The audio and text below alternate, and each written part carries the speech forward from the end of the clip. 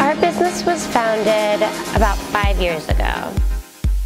What has made our business thrive the most over the years is uh, Miracle Mile growing and all the new apartment buildings opening up and new businesses in, in this area that have popped up since we've been here.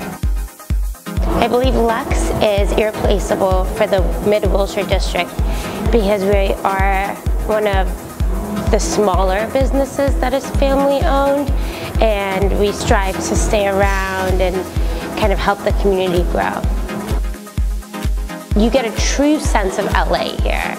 You get the city life as well as like a small community and there's small businesses, big businesses, and when you are here, you feel like you're in LA proper.